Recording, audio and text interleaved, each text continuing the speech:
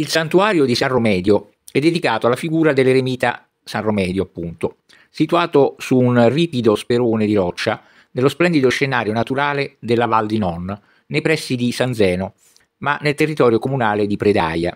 Il santuario è costituito da cinque chiese costruite nell'arco di circa 900 anni, fra il 1000 e il 1918. Le cinque chiese sono state costruite a ridosso di una ripida parete di roccia e sono unite tra loro dai 130 gradini di una spettacolare scalinata. È visitato annualmente da circa 200.000 pellegrini ed è custodito da due frati dell'ordine di San Francesco d'Assisi.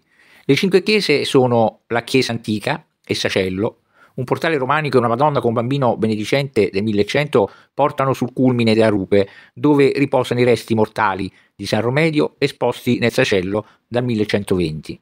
La chiesa di San Romedio, costruita nel 1536 dai conti Thun, feudatari della Val di Non, davanti all'antica chiesa, accoglie i pellegrini presso il cuore del santuario.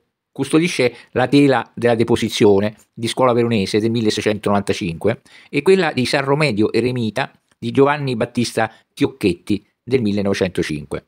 La chiesa di San Michele, tipica cappella di conti e baroni, in stile gotico clesiano con volta a botte, costruita nel 1513 sempre dai conti Thun e dipinta da Adriano Mair nel 1584, custodisce un altare barocco del 1713.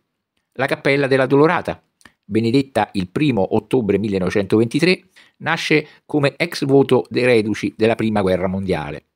Romedio visse tra il IV e il V secolo, erede di una ricca famiglia bavarese, signore di un castello nei pressi di Innsbruck e proprietario di saline nella valle dell'Inn. Fu, dopo un pellegrinaggio a Roma, che decise di donare tutti i suoi beni alla Chiesa, ritirandosi nell'eremitaggio nella Val di Non, in alcune grotte esistenti ancora oggi nei pressi del santuario. Lo seguirono due compagni, Abramo e Davide. Si narra che un giorno, dovendo recarsi a Trento per salutare Vigilio, allora vescovo della città, chiese a Davide di sellargli il cavallo. Il discepolo tornò con la notizia che un orso aveva sbranato il cavallo. Allora Romedio non si scompose e gli ordinò di sellare l'orso, il quale docilmente si lasciò mettere la sella, conducendo poi Romedio fino a Trento. Questo episodio è anche ricordato da una statua lignea posta accanto ad un arco trionfale all'ingresso del santuario e da un recinto per gli orsi adiacente al santuario dove vengono periodicamente custoditi degli orsi in cattività.